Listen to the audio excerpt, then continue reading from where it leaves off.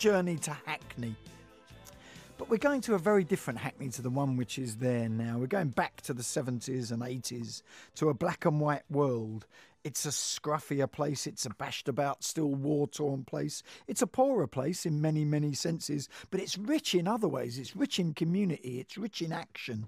Um, it's rich in some fantastic characters. And they're all in this book called Hackney Archive Work and Life, 1971 to 1985. And they're all the work of Neil Martinson, who's here with us now. Neil, welcome to the show. Thank you very much. So, first of all, congratulations on the book because it is incredibly evocative, I think. Yeah, I mean, it took me a number of years to put the work together. Um, I had a lot of negatives, piles of negatives in boxes, like many photographers. Yeah. And of course, now you need to digitize them. And actually, it probably took me about three years to go through them. And one of the things that was fascinating for me, and I hope for people that buy the book, is I found a number of pictures which I'd never really noticed before and they had a, a bit of a different meaning now because you're looking back on them and you're seeing it quite differently to probably when I took the pictures. Why were you taking the pictures in the first place? Talk us. What were you doing out there?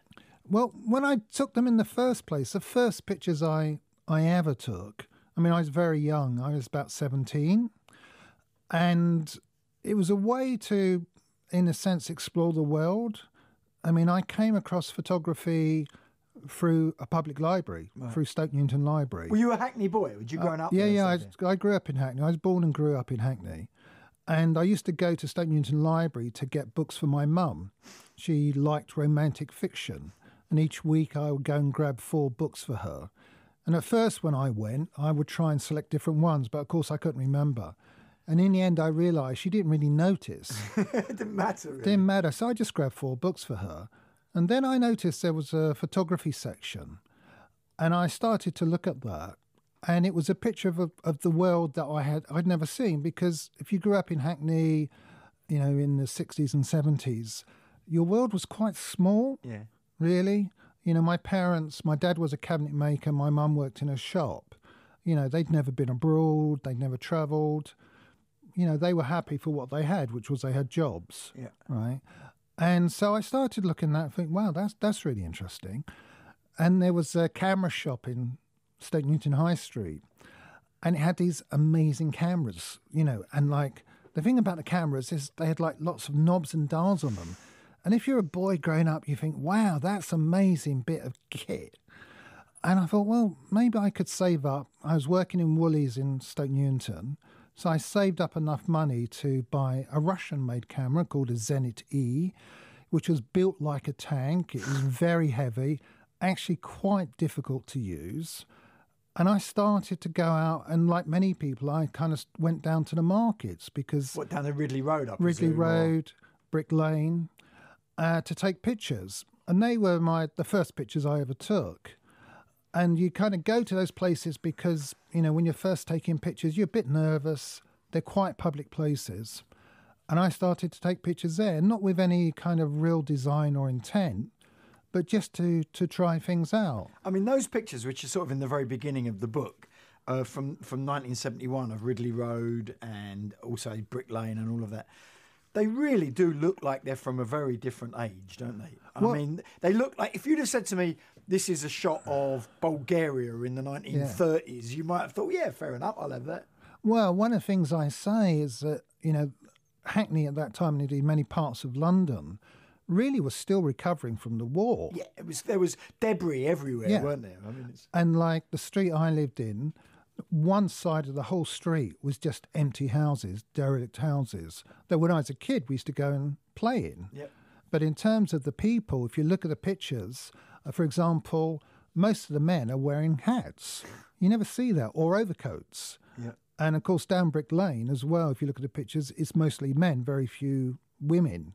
So it's a very different kind of world then, and also very poor. I mean, I think one of the things that it's some... funny because I don't think we knew we were poor.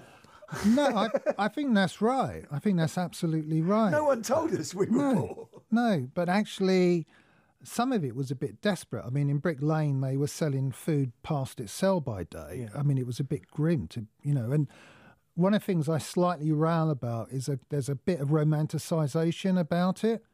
And actually, you know, if you look at some of the pictures of people at work, it's bloody hard work that people were doing. It's very physical, hard manual work. Conditions were terrible as well, weren't they, for a Yeah. lot of people? One of the other things that comes out in the book is is the sort of political side of things because this is a time of quite intense political strife, isn't it? Particularly Yeah. in places like Hackney and Islington and whatever. Yeah, I think what happened in the 70s and 80s, previous to that, I think you had, in a sense, people quite passive, Yeah. kind of accepted Well, what was around. the war and all of that. Yeah. You know. and didn't want to cause trouble. And I guess it must have been the kind of 1968 generation. I mean, like my teachers were 68 generation, and almost certainly they would be sacked nowadays because they introduced us to all kinds of ideas. and in fact, when I was at school, we went on a school strike, which probably doesn't The happen nowadays. NUSS. Yeah, that's it. Well, it does actually. If you think about climate change, Oh, that's fact, true. Let's be, let's be fair That's to true. today's generation. It does. Yeah, and that's a great thing. Yeah. I think. And so what you had was people starting to say, actually, we deserve a bit better. You know, we don't have childcare, for example. The housing was appalling. I mean, I took a lot of pictures in bad housing. Um, Were you getting paid for this by this stage? well, some of it I was paid for, mostly I wasn't. Mostly I was working with different campaigns. So there was a campaign around homelessness in Hackney. People were in, families were in terrible bed and breakfast, well, they called them bed and breakfast Yeah. hotels, which was a complete misnomer. These were places in Finsbury Park. Families were in a single room. There was nowhere for the children. The walls were dripping with damp. It was dangerous. It wasn't safe for them. So I was really working with mostly with different campaigns. Sometimes you concentrate on specific people, don't you? Like the barber who's on the front cover. Hmm. And then there's a teacher with his big sort of afro hair in Yeah, very yeah. 1970s style. Well, there was a really great project in Hackney called Centerprise, which was the first bookshop to open in about 1971. And I got very involved with that project. And one of the things Centerprise did was publish books that were by and about local people. And one of the books we published was called Working Lives, where we documented the lives of people in Hackney, which is probably the first time that had ever been done. And we took photos of them as well. It was, it was actually a hugely ambitious undertaking. Uh, there were five photographers, 120 photos, 13 accounts of working life. And I think what that did was gave a real insight into the lives of people in Hackney and what it was like living from day to day. And some of the stories that they told were about hardship, but some of them were about joy as well and a sense of community. Um, the police don't come very well out of the book, do they? well, in the 80s, it was, you know, Hackney was not a great, great time in terms of policing and what was going on on the streets. I mean, there's one picture I took uh, during the riots in 1981, which I think is probably one of the few pictures ever taken during those riots, partly because it was so dangerous. Yeah. Um, you know, it's I don't think it's a great picture because I was a bit of a way away because to get any closer would have been pretty dangerous. Um, and things were blowing up. You know, the community was not happy with the way they were being treated by the police. There were lots of demonstrations taking place on a regular basis. And lots of racism. I mean, racism that was just overt. I yeah, mean, it was. I mean, if you were a black kid in Hackney, you didn't stand a lot of chances. It is a fantastic collection. Where have they been all these times? Just sitting in your, your loft or something? Well, some were used at the time. A lot in the book had never been seen before. I mean, I had an exhibition uh, about a year ago in Hackney, and a load of people came to it and were really interested. One of the most fascinating insights I, I got was quite a lot of younger people came, so like in their 20s, and they were looking at the pictures of the hospital closures that took place in the 80s, of which there were a lot in East London. And they said to me, God, so all this stuff about cuts has happened before. It's like, yeah, it has. I mean, it's funny because my cousin Ian used to live in, in Hackney Wick on Fish Island, and I used Oh, yeah. to spend a lot of time there. And there's the pictures of Lesney's, aren't there, for example, which again looks like a, a, a gone world. Yeah, I mean, Lesney's was really important in Hackney. It employed thousands of people, particularly women. Women, yeah. And their buses were kind of, I think, quite iconic because they would pick up women at times that suited them in terms of childcare, but also suited the company, obviously. This was Matchbox, wasn't it? Yeah, Matchbox yeah. Toys. And um, that closed in 1981, and I happened to take pictures there just before the closure, which was very sad, actually, because it meant, well, hundreds, if not thousands, of livelihoods suddenly disappeared. And actually, it was a sign of the times because what happened was all of the equipment was taken to Hong Kong, and that's where they started to make the cars again, where the labour was cheaper. Well, I mean, you don't live a million miles from Hackney now. You're only up the road. Yeah. When you go there now, what do you think? Because it has changed, and in many Yeah, ways, it's better. Yeah. It's it's nicer and cleaner and greener. yeah. And I I have mixed feelings really, to be honest, because there are some good things. Like my dad worked in the um, workshops in Shoreditch. Now those workshops were empty for about twenty years after that industry collapsed.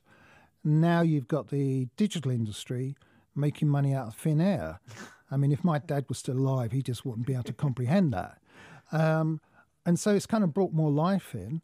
It's also brought people in from different parts of the world again with different kinds of skills. I am, on the other hand, house prices and rental prices have gone up, which does mean people are being excluded Yep. From being there. So I kind of worry about that because I think, you know, I think diversity is important. I think providing opportunities for people is important. And maybe that's diminished a bit, you know, I'm not sure. But there's still a kind of liveliness and energy there that's fantastic. And that's great to be in. Well, if you want to see the pictures, and they are brilliant, they're all black and white, and they go from sort of early 70s up to, to the 1980s. It's called The Hackney Archive Work and Life 1971 to 1985 by Neil Martinson, and it's published by the Hoxton Mini Press. Neil, thank you very, very much. Thank you. It is really good that, that book of pictures of Hackney. If you, it's not it's not my part of the world, and I didn't really know Hackney back then. But you could substitute Hackney for Islington, you could substitute Hackney for Notting Hill, you could substitute Hackney for Brixton. I mean, it really is sort of any one of those parts of inner London that was going through massive changes at the time, and yet still somehow felt like a, a, a Victorian. Some of those pictures look positively Victorian. I mean, it really, you know, they're amazing. It is such a different world. Um, and they're all in there in that book. It's really.